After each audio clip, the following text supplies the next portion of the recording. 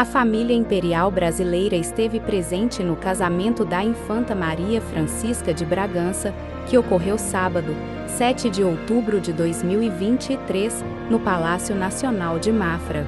Os membros da família imperial que compareceram foram a princesa imperial, Dona Cristina de Ligne, e seus três filhos, o príncipe do Grão-Pará, Dom Rafael, a princesa Dona Maria Gabriela e a princesa Dona Amélia de Orleans e Bragança, como também os príncipes de Ligne, Dom Michel e Dona Eleonora de Orleans e Bragança.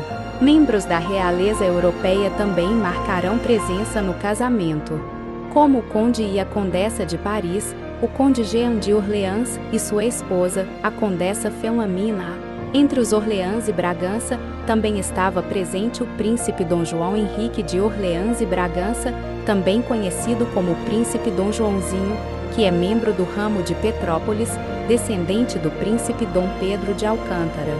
Além da presença do presidente da República Portuguesa, Marcelo Rebelo de Souza.